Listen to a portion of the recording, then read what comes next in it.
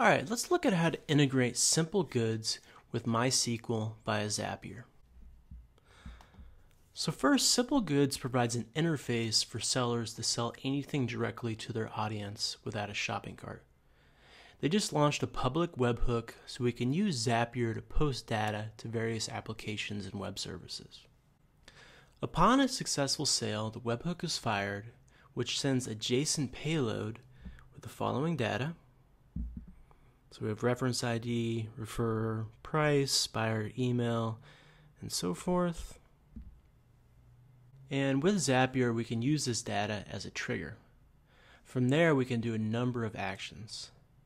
In this particular example, I'll be posting the data to my MySQL database to create a new row within a specific table.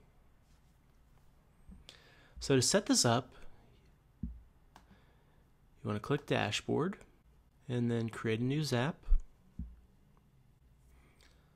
So on the trigger side, select webhook. We want to catch the hook. And then on the action side, we're going to take the data from the payload and post it to a new record in a MySQL database table.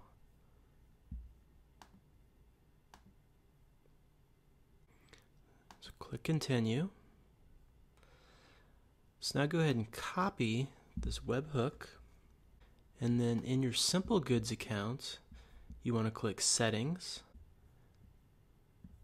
integrations and then all you do is just paste in this URL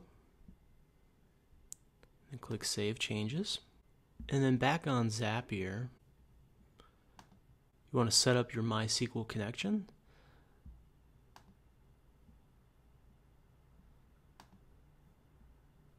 And you can see the fields that are needed here. You need your host, database name, username, and password. So I've already set up my database, so I'm just going to go ahead and select it.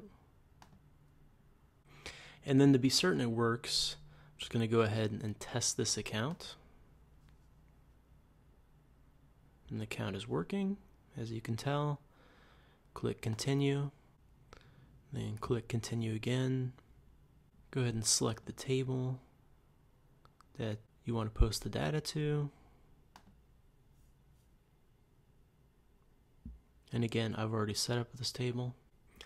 So let me back up a little bit. And this is the, the schema of my database table here. And you can see how the keys from the payload over here match up to the fields on my table.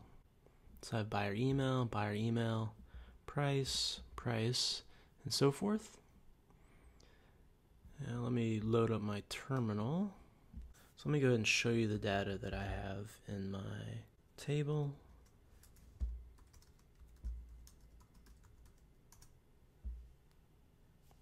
You can see that I already have two rows that were created earlier today as I was testing this out. So to finish up the integration, we need to get some sample data to work with. And the best way to do that is just to set up a dummy product on Simple Goods, which I have done here. Just go ahead and refresh this. Go ahead and purchase the product. I just put in my email address, michael at realpython.com. Go ahead and purchase it. And this will go ahead and send the JSON payload to Zapier. So if I go back to Zapier, I can now map the keys to the database fields. So if I click this button here, you can see that the data from the payload was sent. So I can do buyer email, price, product name, purchase date, and then finally the total. I'm going to go ahead and click continue, continue again, and then I'll make the zap live. You can see that the Zap is right here. So to test it out to ensure that it's working, just go ahead and make another purchase. Go ahead and refresh this.